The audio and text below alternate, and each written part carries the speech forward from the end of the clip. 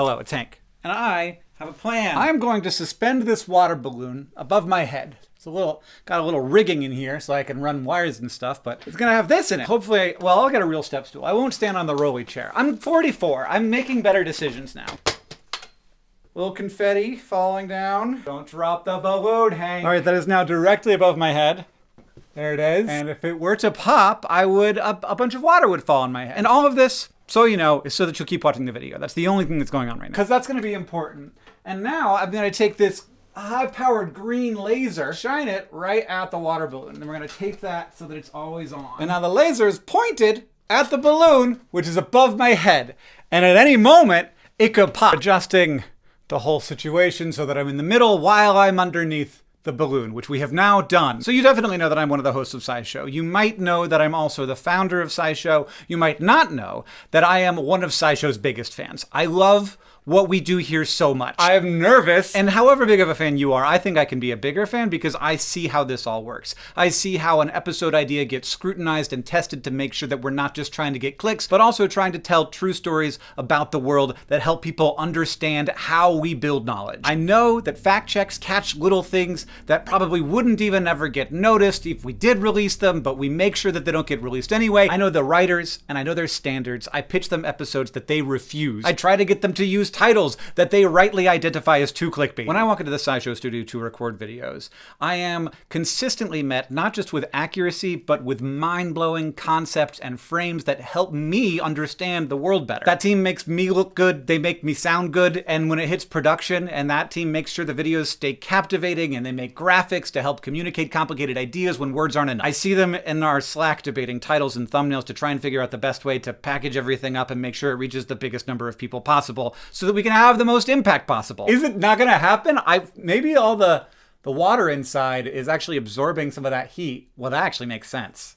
Hmm. Actually, right now, if you could do me a favor and just like hit back a couple of times, like go back 15 seconds, and then this will be the spike in the video where everybody's gonna scroll to. It'll have like the spike in the viewership eventually, and everybody's gonna scroll to that moment thinking that that's when the I get hit by the water balloon and but no, we got you. Other things I love about how SciShow works, when we get critiques questioning what we put in videos, I watch their process as they take those critiques seriously and determine whether and how to respond.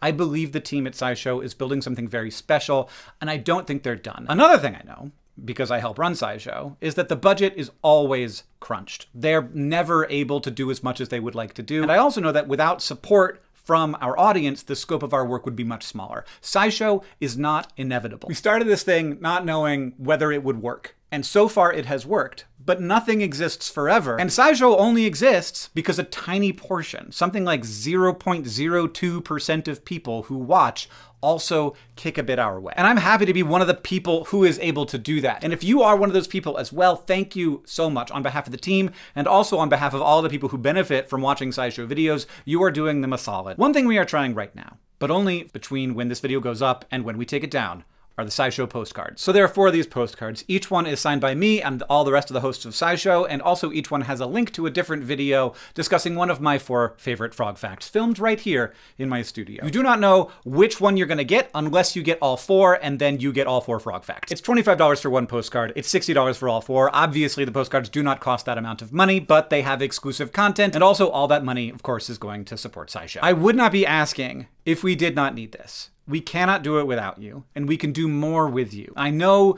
the world thinks that the most accurate and authentic stuff these days is made by just one person alone, but I promise you, teams do a better job. And the SciShow team does an amazing job. If you're able, buy a postcard. If you're more able, buy all four. If you want to give monthly, our Patreon is linked in the description. The balloon has not popped. I did have a contingency plan, which is an X-Acto knife on the end of the tripod leg. So we're just gonna do that instead, I guess, but only if you promise to consider what I've told you and to consider getting a SciShow postcard or becoming a patron. Links to both of those things are in the description. My green-powered laser just isn't powerful enough, so we're gonna have to go through a more traditional method of popping. Oh, doing it myself is almost worse.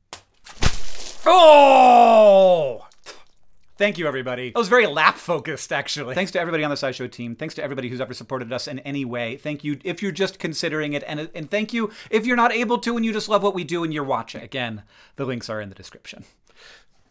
I'm so wet. Watch out for the X-Acto knife on the tripod, Hank. Let's put that away. Ooh, there's a wet spot on my chair. I should have thought about that. That's gonna be annoying.